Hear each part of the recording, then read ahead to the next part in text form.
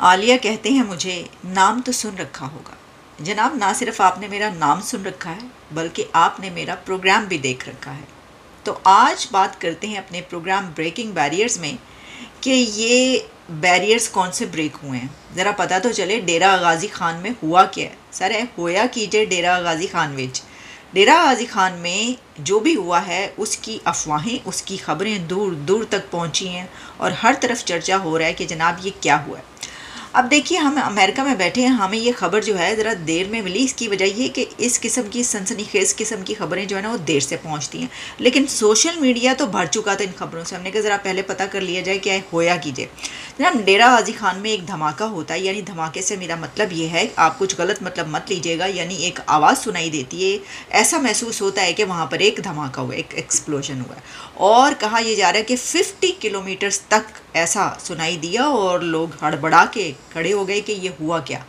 अच्छा उसके कुछ देर के बाद कई तरह की चीज़ें चलना शुरू हो गई। मतलब ये कहा गया कि पैन ए किन ने हमला कर देता जे। वो वही जो पहले एक मिज़ाइल उड़ता उड़ता आया था, कहीं वहीं से कोई, वहाँ पे कोई सफ़ाई तो नहीं हो रही थी? हथियारों पे और मिज़ाइलों पे टाकी मारी जा रही थी। तो सफ़ाई के दौरान एक किसी और ने भी गलती कर दी और एक और उड़ता उड़ता तीर जो है एथे आगे पे आए तो फिर दूसरी तरफ़ ये पता चला कि जनाब, आप जानते हैं कि अफ़गानिस्तान के हालात भी कैसे हैं? कि बायन वो तो किसी भी वक्त कुछ भी चीज़ उठा के मार दें। पता ही ना चले, जो जैसी जैसी धमकियाँ वो दे रहे हैं, वो आपको पता है ना वो स्टानिक जई नाम भी अजीब सा है तो उन्होंने तो बाकायदा कहा है कि भाई मुँह संभाल के बात करो, ज़रा ज़ुबान जो है वो संभाल के बात करो, होते कौन हो, तुम लोग ये वाली बात करने वाले, तुम लोगों से ना अपनी इकोनॉमी संभाली जा रही है, ना अपनी सिक्योरिटी संभाली जा रही है, हमें दे दो, हमें कहो, हम संभाल देते हैं। तो वो तो ये बातें करें तो जब वो ये बातें कर रहे होंगे और बात गालम गलूच तक पहुँचेगी तो ज़ाहिर है कि फौरी तौर पर ऐसी कोई आवाज़ आएगी तो लोग सोचेंगे कि ये क्या हो गया कि अफ़गानिस्तान ने हमला तो नहीं कर दिया, या फिर ये कि उधर बॉर्डर पार से कोई जो है मिज़ाइल तो नहीं आके गिरा। तो सर, मसला ये है कि इस तरफ़ से जो है, यानी पाकिस्तान की तरफ़ से तो आपको पता ही अपने फेंकना है किसी की तरफ़, वो सीमा कहीं दौड़ी दौड़ी चली जाए, बस वही हो सकता है। तो हुआ कुछ यूँ है तो जनाब हुआ कुछ यूँ कि सबसे पहले डेरा गाजी खान के कमिश्नर ने ये ऐलान किया कि ये क्या हुआ है।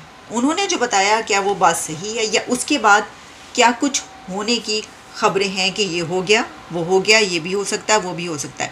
पहले आप ये कमिश्नर साहब जो हैं, ज़रा इनकी बात सुन लें, इन्होंने क्या कहा फौरी बात के जनाब, ये क्या हुआ है? Doctor Nasir Mahmood Bashir, commissioner D G Khan, आपसे मुखातिब हूँ।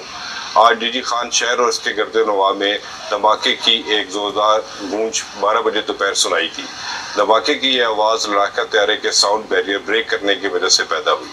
तमाम सिक्योरिटी एजेंसीज और एनी शाहिदीन ने डीजी खान में किसी भी किस्म की कोई बम ब्लास्ट धमाका या हादसे की अफवाहों को अक्सर मुस्तरद किया मुतल इदारों का कहना है कि डी खान और इसके गिरदो नवा में किसी भी जगह ऐसा कोई हादसा नहीं हुआ, लिहाजा अवाम अफवाहों पर कान न धरें।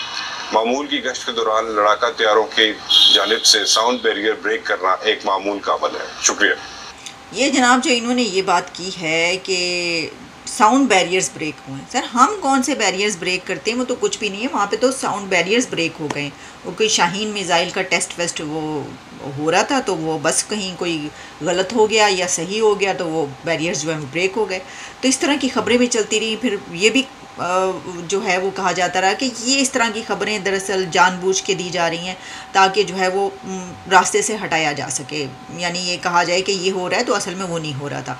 अच्छा फिर ये भी कहा गया कि हुआ ये कि वहाँ पर तो ड्रोन के ज़रिए हमला किया गया। इसकी वजह ये कि वहाँ पर जो है वो तो आपको पता है कि न्यूक्लियर फैसिलिटी जो है वो मतलब एटॉमिक कमीशन तो फिर वहाँ पर जहाँ पर ऐसी जो है आपकी कोई एसेट होगा कोई ऐसी जगह होगी कोई ऐसा शहर होगा इतना अहम तो उसकी तो वहाँ पे ऐसी कोई ख़बर होगी तो दूर दूर तक जाएगी। तो उन्होंने कहा कि ये तो जनाब ड्रोन से जो है वो किसी ने कर दिया अटैक हमला कर दिया उस जगह पर और पता नहीं कितने लोग मारे गए या क्या हो गया। ऐसी ऐसी खबरें चलती रही मैं आपको क्या बताऊँ बस बता रही बता तो रही हूँ। और किस तरह बताऊँ?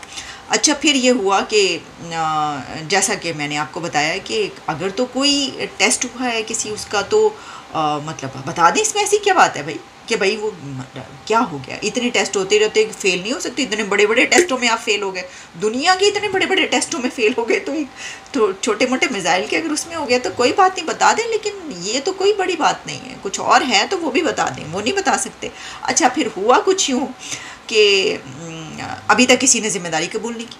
अरे आपको पता है, उधर तो कुछ हो तो जिम्मेदारियाँ ये मिनटों में कबूल होती ऐते ऐसी कीता लो, आ जाओ सामने, आ जाओ, असी कीता जो करना कर लो। सबसे पहले तो लोग ये कहते हैं आके खास खास तौर पर टीटीपी वाले और ये जो दहशत गर्द हमले हैं फ़ौरन, की ज़िम्मेदारी कबूल कभी बलोच की किसी उसने कर ली, कबूल तो कभी टी में ने कर ली, कबूल फौरी फौरी तौर पर जो है वो बकायदा लिख के जो है, उन्होंने लगता है अपने, हमारा मीडिया क्या होगा, जो इन लोगों का मीडिया फौरी तौर पर प्रेस रिलीज़ आ जाती हमें कोई प्रेस रिलीज़ बनानी पड़े तो हमें तो पता नहीं कितने घंटे लगते हैं लेकिन वो फौरी भेज देते हैं। ऐसा ज़बरदस्त मीडिया इन दहशत गर्दों ने रखा हुआ है। तो जनाब हुआ कुछ यूँ कि अभी तक रिस्पॉन्सिबिलिटी किसी ने क्लेम नहीं की तो इससे पता ये चल रहा है कि या तो ये है कि कुछ भी नहीं हुआ। और आ, वैसे तो देखिए अगर धमाका होता है ये लोग मरते हैं तो खबरें निकल ही जाती हैं। कोई ऐसा नहीं होता कि खबर ना निकले। तो अब ये होया की है और अगर तो किसी ने कोई टाकी वाकी फेरते हुए, सफाइयाँ करते हुए किसी से गलती से तो हो सकता है कि अगले कुछ दिन में ये रिस्पॉन्सिबिलिटी क्लेम कर ली जाए, लेकिन इस बार नहीं क्लेम होगी, क्योंकि एक मरतबा हो चुके होंगे, नहीं उन छुपा लो अब नहीं। तो ऐसा कुछ वैसे भी दो दिन के बाद हमें पता चला था। ये फौरी तौर पर पता चल गया। अच्छा होता ये है कि जब धमाके होते हैं, जैसा कि आप जानते हैं पाकिस्तान में तो जो भी जिस शहर में भी धमाका होता है तो उसमें होता क्या है कि फ़ौरी तौर पर जो एम्बुलेंसेज और गाड़ियाँ जो हैं, उस तरफ़ जाना शुरू हो जाती कुछ इस तरह की फुटेजेस चल रही हैं। अब हमें ये नहीं पता मुझे कि वो रियल फुटेज है या फेक, क्योंकि आपको पता है आजकल तो फेक फौरी तौर पर वायरल हो जाता है। लेकिन वहाँ पर कोई ऐसी, यानी पिक्चर्स या वीडियो सामने नहीं आई जिससे पता चले कि जी कोई ज़ख्मी हुआ। लेकिन ख़बरें ये सब कुछ चल रही हैं। सर, बात दरअसल ये है बड़े बड़े शहरों में छोटी छोटी बातें होती हैं। डॉन अखबार ने इस पर जो खबर दी वो था कि लाउड एक्सप्लोर एक बहुत बड़ा धमाका जो है सुना गया है डेरा गाजी खान में। और अथॉरिटीज़ ये कह रही हैं कि सोनिक बूम है ये। अच्छा फिर उसमें ये कहा गया कि ये जो शोर था या जो धमाके की आवाज़ थी, उसने लोगों में, वहाँ के रहने वालों में ज़ाहिर है कि पैनिक क्रिएट किया। और जो जर्नलिस्ट हैं वहाँ पर, वो ये कह रहे हैं कि 25 किलोमीटर्स तक जो है, वो शहर में ये सुना गया है। लेकिन कुछ लोगों ने कहा कि 50 किलोमीटर तक भी है। फिर उसी के साथ जो है सर्कुलेट होना शुरू हो गई वीडियोज़ और फिर लोगों ने लिखना शुरू कर दिया। एफ़ जो एक है, इस बारे में मतलब फ़ॉरन अफेयर्स पे वो ट्वीट्स करते रहते हैं। उन्होंने कहा कि एक बड़ा जो धमाका जो है वो सुना गया डेरा गाजी खान में। तो डॉन में ये भी लिखा गया है कि there is no strong possibility that the sound barrier of a warship broke but final confirmation is pending अच्छा फिर इसमें ये लिखा गया कि देखिए, कोई दहशत गर्दी या ये कि कोई ऐसा सानहा या हादसा इसलिए नहीं कि किसी ने अभी तक जो है वो रिस्पॉन्सिबिलिटी भी क्लेम नहीं की, और कुछ ऐसा भी पता नहीं चल रहा तो। तो सर, ये जो है ना, ये विचो विच कुछ, यानी कोई हो गया, ये क्या काम हुआ है, ये कुछ दिनों में पता चल जाए ऐसी बातें छुपी नहीं रहती।